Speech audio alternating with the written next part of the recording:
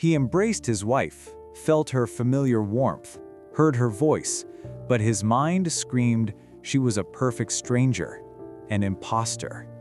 This is Capgras delusion, where your loved ones are replaced by duplicates. The syndrome is a neurological fracture. The brain's visual recognition system works perfectly. He knows this person looks identical to his wife, but the connective pathway to the limbic system, which provides emotional familiarity, is severed. Without that visceral feeling of connection, the mind makes a desperate logical leap. This identical being must be a replica, a clone, or an alien. The consequences are profoundly isolating. Patients may accuse the imposter of a sinister plot, pleading with the real family to return.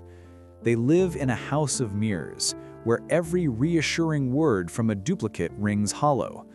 Some resort to desperate measures to uncover the truth, searching for hidden masks or proof of the conspiracy.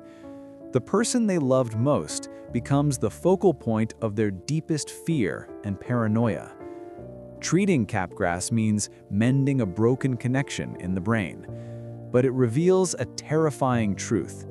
Love and recognition are not just memories, they are a fragile electrical signal, and when it fails, the most familiar face in the world can become the most terrifying stranger. Want more?